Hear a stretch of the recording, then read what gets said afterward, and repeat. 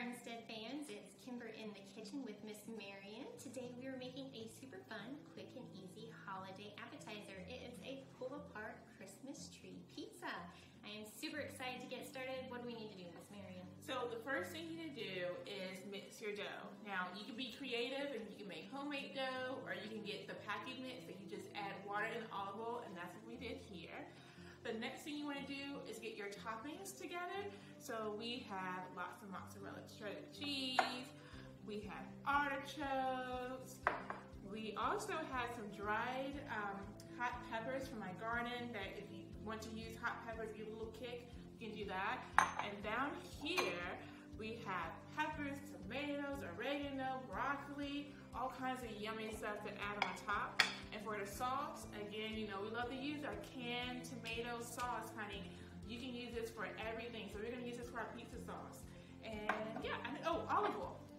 You wanna use olive oil to brush on top of your pizza before you add your stuff after it cooks. It sounds so delicious. Picked the last of my broccoli that's ready. I got a few of the peppers, tomatoes, and some of my herbs that were in the garden. So this is a Veggie Lovers Pizza. Head down to your garden and pick whatever is left in your garden right now and throw it all in. Just go crazy, make it wonderful, delicious. I'm sure no matter what, your friends are gonna love it.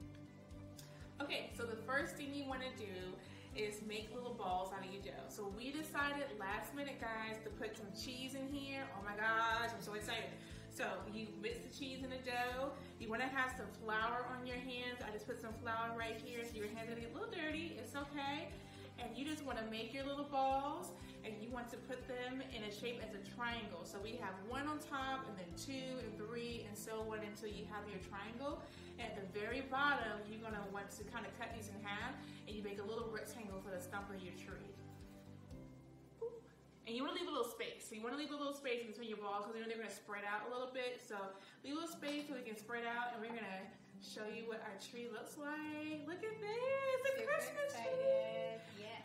And you know what you can do to take this to the next level? What? You can melt some butter, mix it with some garlic, and you can use a brush and you can just spread it on top. I like it. Sounds so good. good. Okay, so, so good. oil if you want it quick and easy.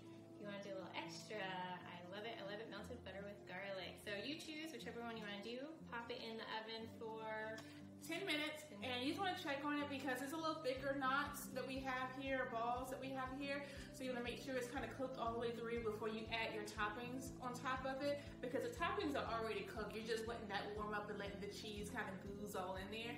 But we want to make sure the dough is cooked all the way through. So I would say 10 minutes and then kind of check. It's on the oven's on 350 by the way, and it's already been preheated. So we're gonna brush this with some yummy butter and some garlic to get all the flavors together, honey, and then we're gonna put it in the oven and we're gonna show you what it looks like when it comes out. Sounds good. Let's go. Awesome. So now we have this beautiful pizza out the oven. Can you guys see how gorgeous this is? So this was in the oven for about 15 minutes and we took this out. Now we're gonna add our sauce. We're gonna add our broccoli, we're gonna add our tomatoes, our peppers, our artichokes, and our cheese. And we're gonna pop it back in the oven for around about five minutes to kind of check and see how it's doing.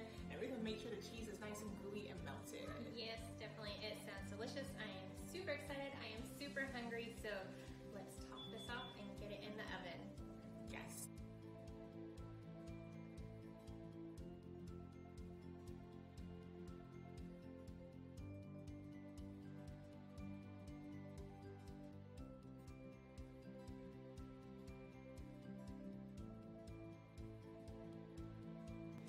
Hey friends, so we just took out our pull apart Christmas tree pizza.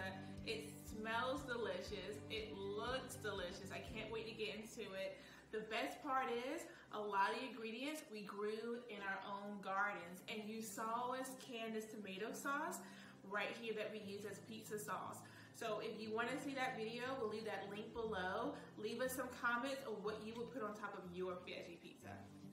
I love it. I am super excited. Let's